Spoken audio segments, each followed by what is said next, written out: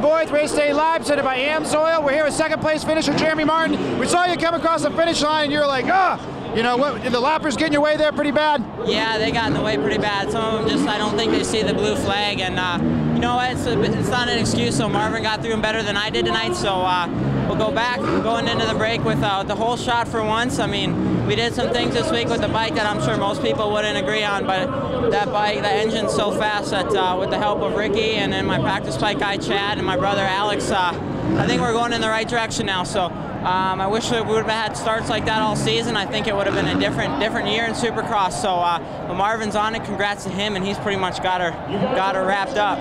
You had some fire today. You look like you're aggressive in practice and qualifying, and definitely in the main event. What did you find on the bike? Um, you know, I just think that uh, you know I want to do good. I'm tired of tired of not doing good, and uh, you know, extra motivation this week. I think some people don't necessarily weren't agreeing with what I was doing, but I think everything was fine with my program and stuff. I just think that if, if I would have been getting starts, it would have been a little different story. So um, this is for them tonight. Right on. Congratulations. Thank you.